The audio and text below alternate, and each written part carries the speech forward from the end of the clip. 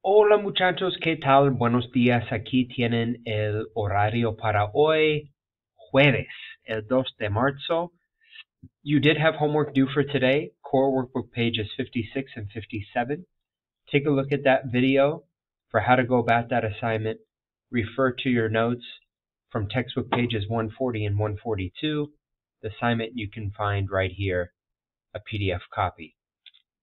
Due for next class, don't worry about submitting bingo, uh, nor should you worry about the song lyric activity. We will complete that together in class next class.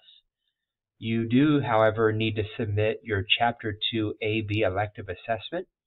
That is due next week. Daily objectives to distinguish the irregular conjugations of the verbs ir, ser, hacer, tener, poder, and estar. These were the notes that we took last class. Uh, we also, on page 142, we also did exercise 19 together. And we identified the context clues used for each of those verbs. Let's go ahead and take a look at your warm-up for today. Two things you have to do for this warm-up. You have to fill in the blank with the correct form of either the verb hacer, poder, tener, and estar, and then respond to each of those questions. So for number one, ¿qué hiciste?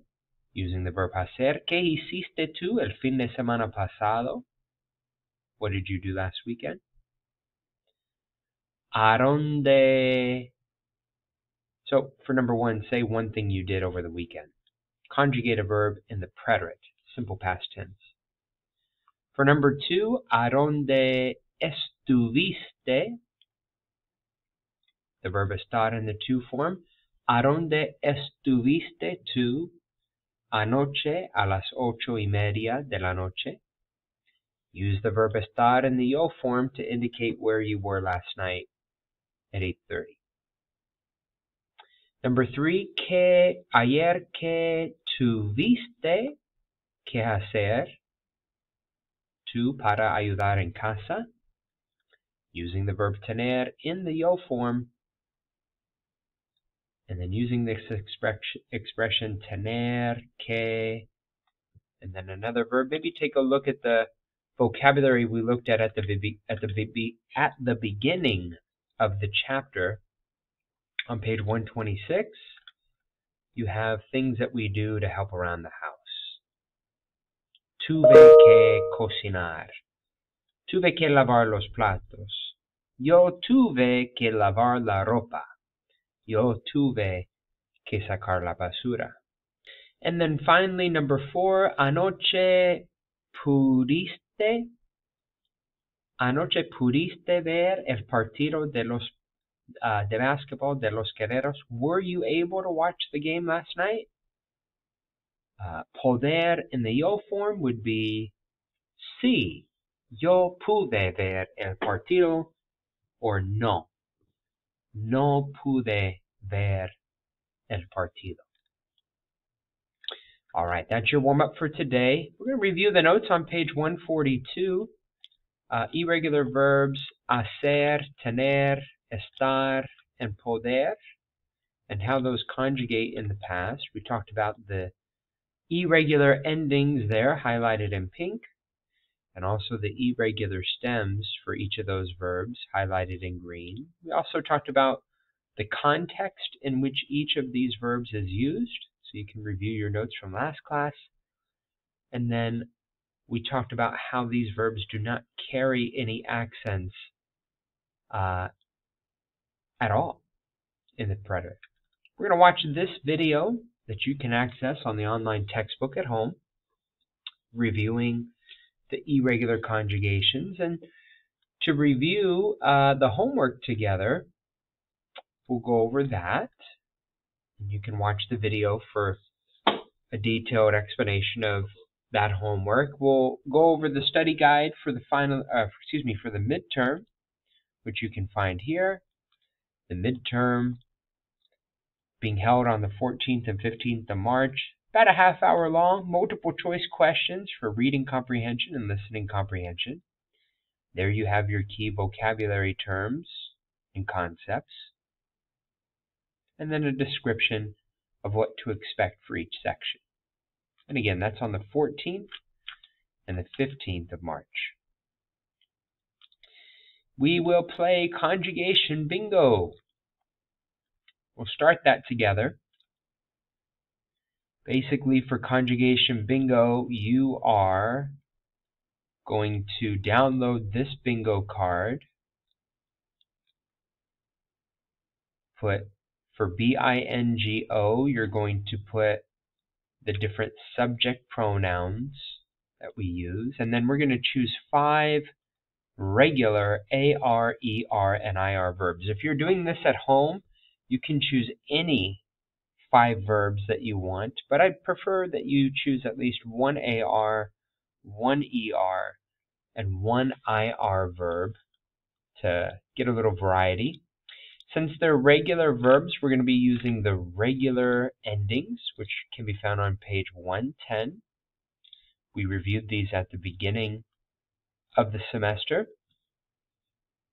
And so using those regular endings, conjugate whichever five uh, verbs of your choosing. So for example, if we did the verb escribir, filling in uh, the conjugations, pull up that bingo sheet again. Uh, yo would go here, right? So this would be yo escribí. Anywhere you want in that yo column. Tú escribiste. Anywhere you want in that tú column. Él, ella, usted escribió would go in this column here.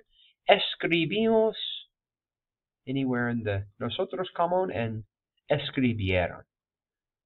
So yo, tú, él, ella, nosotros, ellos, ellas, ustedes.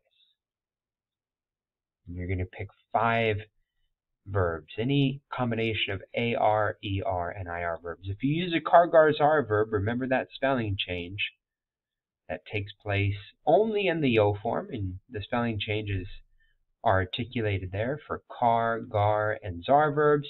And then remember that stem changing verbs uh, in the present tense don't change their stem in the past. So verbs like dormir, poder, escuchar música, etc.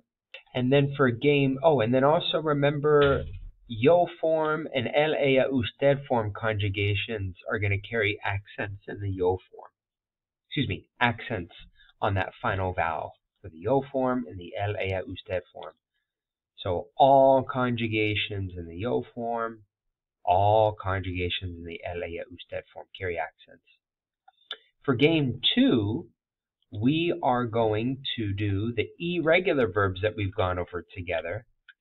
And those can be found on page 140.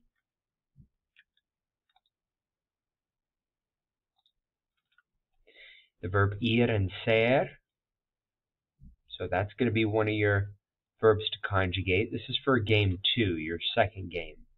So, fui, fuiste, fue, fuimos, fueron. And remember, ir and ser share the same conjugations in the past.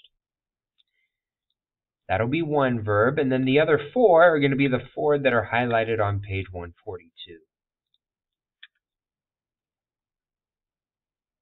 Hacer, tener, estar, and poder.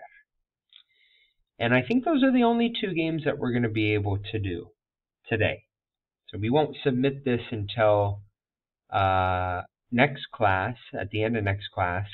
For games three and four, if you end up missing, again, just choose any five verbs, uh, you know, pull from the key vocabulary for this chapter, running errands, you know, the particular errands that we, that we run. You can find those on page uh, one. Let's see, there was an activity we did together on page 134 where you guys listed those errands that you would associate with each place, you can pull from there. That might be a good place to pull combination of verbs. You can look at that page from the very beginning, talking about the different chores, things you do to help around the house. You can pull from here some verbs as well to finish off your third and fourth game. If you don't play with us, still need to fill it out, uh, and you can fill it out with any group of five verbs of your choosing. Again, just prefer to get a combination of AR, ER, and IR verbs. All right, don't forget about your project as well, which is due next class. Uh, and then again, don't don't need to submit the bingo card and the song lyrics activity for next class. We'll we'll knock these out together uh, next time we see each other. The song lyric activity I I know is in the agenda, but we're not going to be able to get to it. Too much going on. I just put it there just in case. All right, y'all have a wonderful weekend, muchachos. Ciao. Hasta luego.